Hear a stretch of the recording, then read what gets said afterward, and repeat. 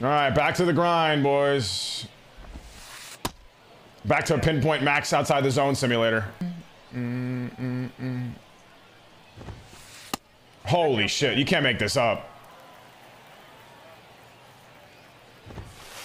This is incredible, bro. It almost feels like it, there's a, a, fixed percentage likelihood that it goes outside of the zone no matter where you put your par. Are you kidding? Oh my god, really? I didn't get a single strike down on any one of my, my pinpoints, man. What are the odds of that?